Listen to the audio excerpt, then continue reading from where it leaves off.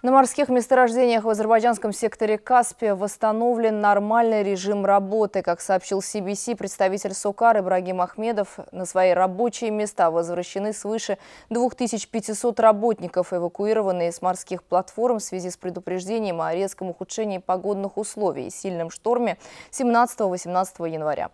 По его словам, в настоящее время изучается ущерб, нанесенный морской инфраструктуре и платформам, а также его возможное влияние на годовой уровень добычи.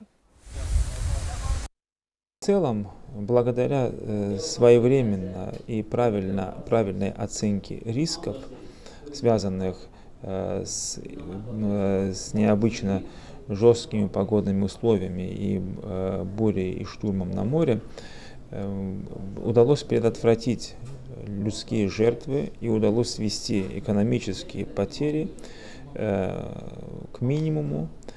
На данный момент э, анализируются э, и э, те уроки, которые стали очевидны из вот этих повреждений, которые произошли на морских месторождениях компании.